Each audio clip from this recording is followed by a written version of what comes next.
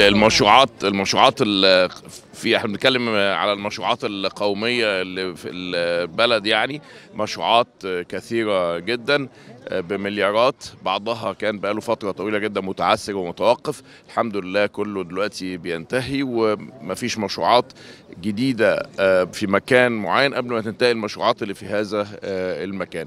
في جميع المجالات الحقيقة.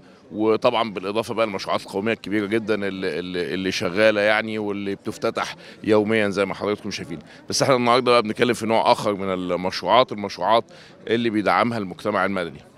مشروعات الجمعيات المجتمع المدني الجادة النشيطة المخلصة اللي بتقدم دعم للأماكن المحترمة الجادة أيضا اللي بتقدم خدمة لجميع المصريين في كل مكان على أرض مصر. في جامعة عين شمس طبعا يعني جامعة عريقة.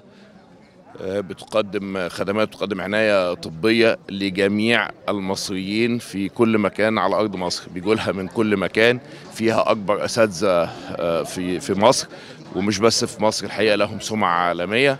وبالتالي هذه الجمعيات لما بتحس إن هذا المكان مكان جاد وبيقدم خدمات جادة والفلوس اللي بيحطوها بتنفع الناس فعلا وبتصان وبتستخدم استخدام على ارقى مستوى بيقدموا زي ما إحنا شايفين كده ما تم وما يتم الحقيقة شيء رائع. حضراتكم اتفرجتم مستشفى دي مستشفى حكومي في جامعة حكومية.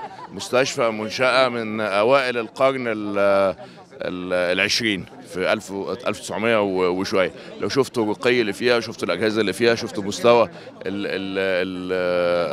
الرعاية الطبية اللي فيها الحقيقة شيء يفخر به كل مصري. والنهاردة إحنا افتتاح قسم القسطره والرعاية المركزة لقسم القلب الأطفال.